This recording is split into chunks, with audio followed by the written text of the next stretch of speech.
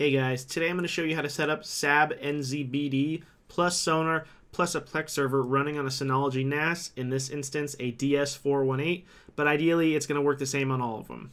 Uh, going into this video, I'm going to assume that you already have your Synology NAS set up and that you know how to access it over an IP address, ideally a static IP address, and that you've already signed up for a Usenet server account as well as an indexer. And if you haven't, I'll have links in my video description on how to do those things. The first thing we're going to do is access our Synology NAS. So to do that, we're going to go to the IP address. So we're going to open up a new window with Chrome. I'm going to type in the IP address for my NAS, which is 192.168.1.3. Hit enter. You might have to log in, but mine was already logged in. After you're logged in, the first thing we're going to want to do is create shared folders. So we're going to go over here to Control Panel, hit Shared Folder, and for this example, I'm going to create one and I'm going to name it downloads. Hit next, next, next, apply, and OK. All right. After we've done that, we can close that. We're going to go to File Station. Make sure you're in our Downloads folder, and we're going to create some new folders for where the content is going to go. So the first thing we're going to do is create, create new folder, and we're going to name this folder incomplete. Then we're going to create another folder named complete. We're going to go inside the complete folder. We're going to create another folder, and for this example, we're going to name it TV shows. Let's capitalize that. TV shows. And you would do the same thing for video or movies, music, software, whatever you're downloading. The next thing we're going to want to do is add community packages. So we're going to open up the package center right here. And then we're going to go over to um, settings, package sources. We're going to click add. And for the name, we're going to type Sino community. And then for this, I'll have this in the video description as well so you guys copy and paste it.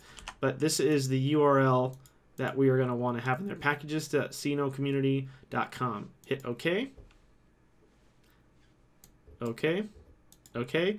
And then you'll see on the side now this community tab has popped up, which will let us add different software. And the first one we're going to want is, let's scroll down.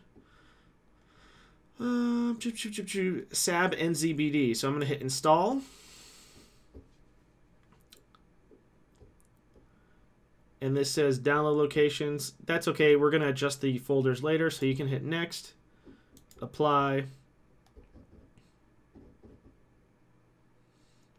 All right. After that's done, you're going to want to hit install Sonarr. So we're going to hit install right there for Sonarr.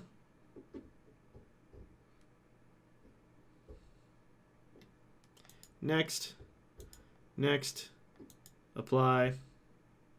After we're done with that, we can go to all packages and we can actually just search Plex because this is not going to be in the community tab. So type Plex and hit enter. And then you want this one, Plex Media Server, hit install. After you've got those packages installed, we're going to set up the permissions for accessing the folders. So we'll go to Control Panel, we'll go to Group, we're going to go to SC download, select it, hit edit, go to permissions tab, and we're going to give it permissions to the download folder so it can access those folders we just created. Hit OK. Then we're going to go to user.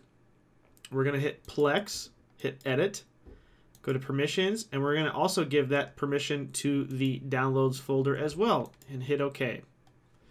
Now that we've got that set up, we can finish configuring our packages. We're going to go to our installed tab, and here we can see all the packages we have installed.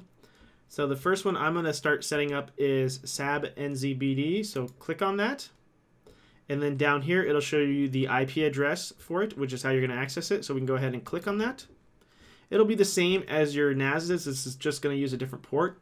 And we're going to start with the setup wizard. So we're going to hit start wizard, English. And here's where you're going to enter in your uh, Usenet server account that you use. So I'm going to go ahead and type mine in and then connect to it.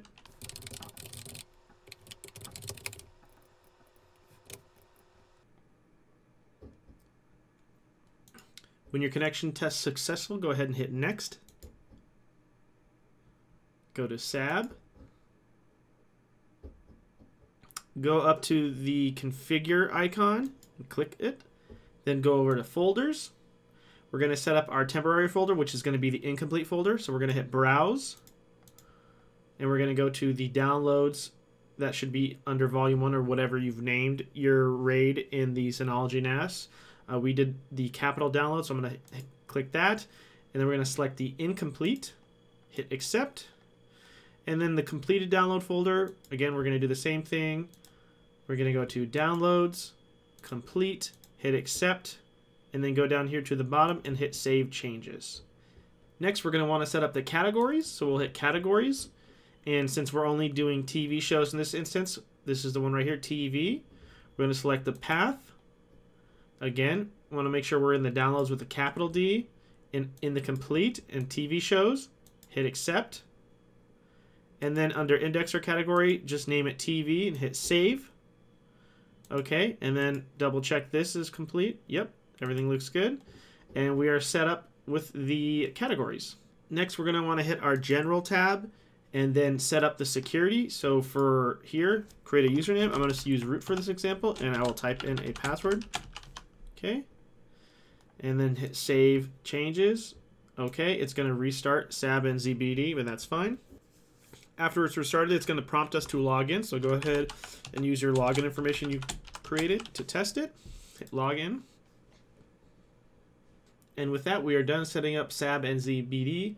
So with that, let's go back to our Synology NAS, go in the package center, go to our installed, and now we can start setting up Sonarr.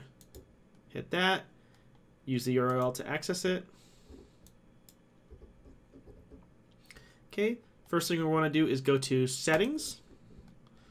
And here are a few tips that I like to do. I like to have it rename the episodes, so I click yes to this. And then I scroll down, Make sure everything else is fine. Yep, that's fine. Hit save. The next thing we're going to want to do is set up an indexer, and this is actually what keeps track and searches for the content that you're looking for.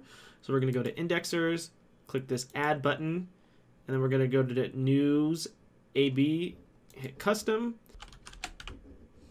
Just fill in the name, the URL, the API key that the site gave you, and then hit test. If everything is okay, it'll say testing succeeded hit save. For this example, we're only going to set up one indexer, but uh, you can set up as much indexers as you want. Technically, the more you have, the more better odds you have at finding whatever you're looking for, but you don't want to go overboard. And then next, we're going to go to download client, and this is where we're going to add SABnzbd, so this knows to connect to it. So we're going to select SABnzbd, name it SAB, you can leave the host as local host if it's on your local network, port 8080, that's fine. We're going to go back to our SAB tab. We're going to go to the config, general, and then here's the information you need. So you should already know your username and your password, but you want to get your API key. So I'm going to copy that. I'm going to paste it there. I'm going to type in my username and password.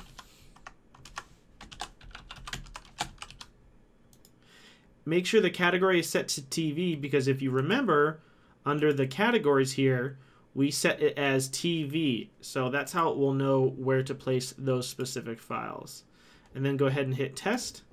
You should see it said succeeded right there. Go ahead and hit save. And now lastly, we're ready to set up the Plex server. So go back to your NAS. We're going to go to installed. Going to go to Plex Media Server. Uh, we can actually just click open that and it'll pop it up automatically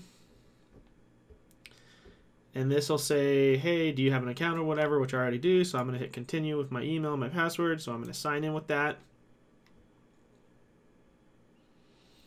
Now it's going to take you through the initial setup process. Just hit got it.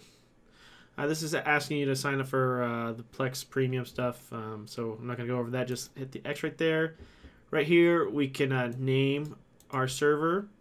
And if you want to be able to access it outside your network, leave that checked. Hit next.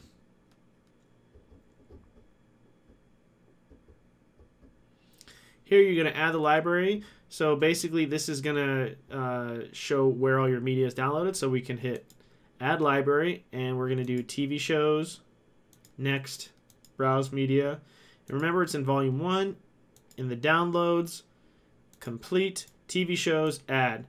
And this is also why we gave Plex permission because without the permission set, it won't be able to see that folder. Hit add to library, hit next, Done. Continue.